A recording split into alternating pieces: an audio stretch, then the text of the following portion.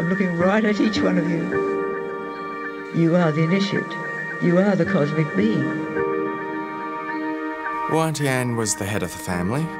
Under the influence of LSD, she had this vision that she's got to collect all these children from birth because one day there's going to be World War III where most of the world's going to perish. She was preparing us for when the time happens to re-educate the world. Wondering if you've got any comment to make now about what happened to the children. You know what happened to those children. You know everything that happened. The sect was made up of professional people who worshipped Anne Hamilton Byrne as Jesus Christ reincarnated in the female form. Only one rule total obedience. I didn't want to have the LSD. They tried everything to make me agree. People around the lake would hear us screaming. And you remember absolute terror.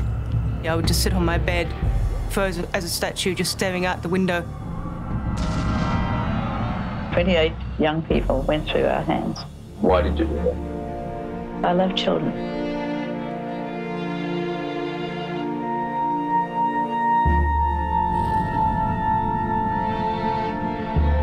He's going to be with me for the rest of my life.